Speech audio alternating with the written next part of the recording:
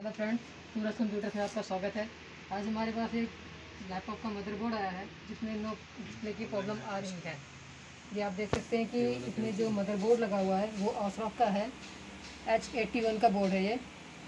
इसमें प्रॉब्लम आ रही है नो डिस्प्ले, जिसमें आसूस का ग्राफिक कार्ड लगा हुआ है। ये ग्राफिक कार्ड है एनवीडिया का। अभी मैं इसको चेक किया और इसको रिपेयर किया। अभी मैं इसको ऑन करके दिखाता हूँ।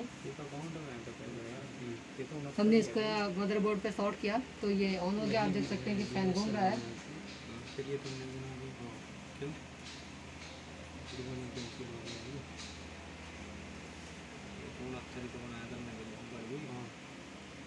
आप देख सकते हैं कि ये हमने रिपेयर किया तो डिस्प्ले भी आ चुका है।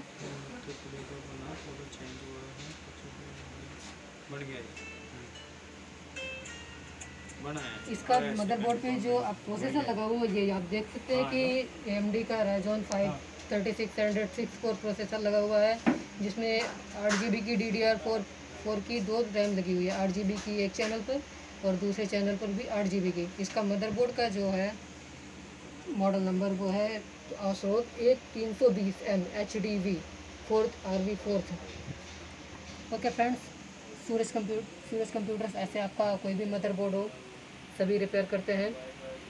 कोई भी प्रॉब्लम हो डेड हो नो डिस्प्ले हो या फिर कोई भी और प्रॉब्लम हो तो सूरज कंप्यूटर ऐसे किसी भी कंपनी के लैपटॉप रिपेयर करते हैं। कंप्यूटर्स रिपेयर करते हैं मदरबोर्ड रिपेयर करते हैं, कोई भी प्रिंटर रिपेयर करते हैं। अगर आपके भी लैपटॉप में कंप्यूटर में कोई ऐसी प्रॉब्लम हो तो सूरज कंप्यूटर्स में संपर्क करें और सूरज कंप्यूटर का संपर्क सूरज कंप्यूटर्स में काम करने का मौका अवश्य